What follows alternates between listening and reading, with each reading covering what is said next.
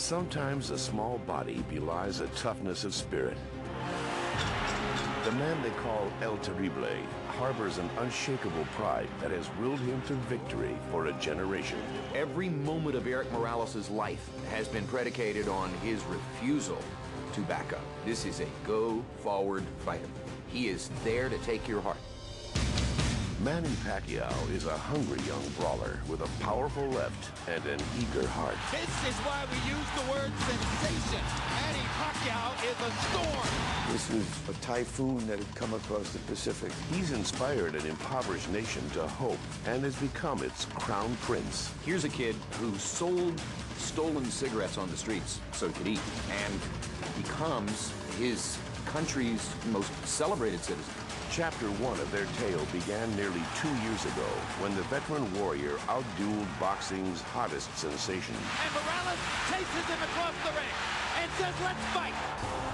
And I told him that, Erik, we took you lightly, and he told me to shut the F up and sit down and stop crying. There's kind of an ugly side to Erik Morales. He's real morose at times and angry. But Pacquiao fought fire with firepower in their rematch. And when Pacquiao dropped him, that was symbolic because nobody knocks down Morales. In the grand finale on November 18th, a battle-torn legend will try to turn back time, and a people's champion will stake his claim as one of boxing's pound-for-pound best. Pacquiao is a dangerous, dangerous fight. To take him three times is almost suicide. This is the countdown to Pacquiao Morales 3.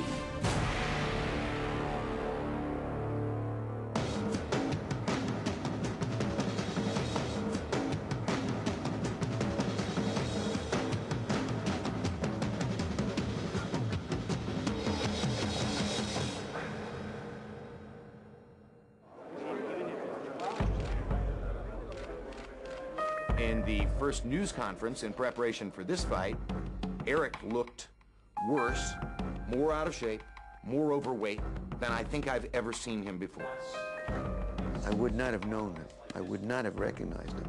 I mean, he looked like a bird that had been feeding on a carcass too long. I mean, he was puffed up. 130 pounds is just not a natural weight for him at this point in his life. And so he's, his biggest fight before Manny Pacquiao was going to be on the scales. To help in that battle, Morales has changed his routine. He decided to work with a team of personal trainers in Los Angeles for eight weeks before heading to camp in Mexico. I mean, if you want to be fast, you got to train fast. You are what you train. If you want to be quick, you got to train quick. That's it. Good. Now you got it. Good. Fue fundamental el peso, pero bueno, la edad, el tiempo, las rutinas. Tienes que cambiar, variar. It just gets harder and harder and harder every time, and particularly hard when you're a kid from El Norte who's rich, who will never have to worry about a peso again as long as you live.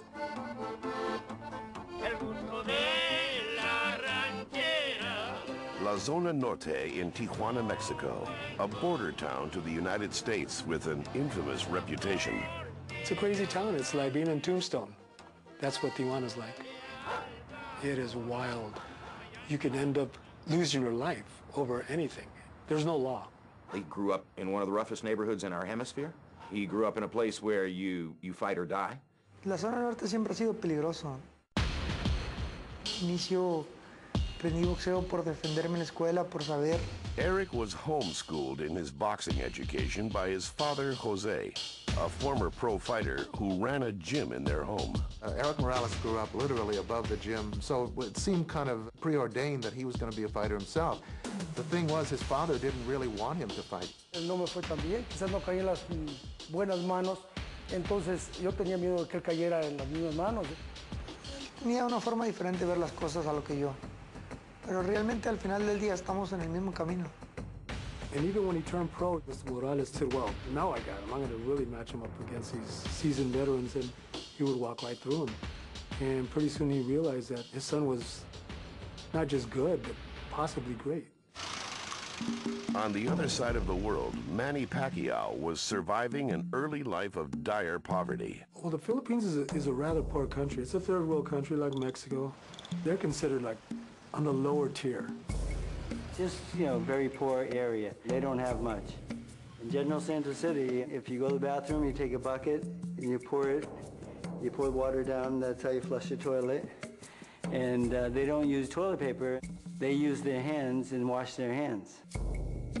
We don't have uh, money to support my study, so I, I had to decide to continue my boxing career. When I went to Manila, I was 14 years old.